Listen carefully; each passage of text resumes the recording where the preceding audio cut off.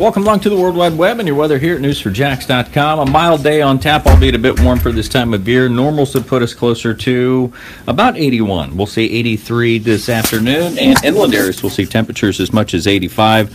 Along the beaches, look for lower 80s under that onshore flow. And it's that onshore flow that could bring a few showers into the mix. We saw some this morning, and then later today, lunchtime, and there beyond that 20% starts to stack up. Coastal zones, a 10% chance in our inland areas. Next couple of days, still mainly dry with those temperatures running a little warm for this time of year.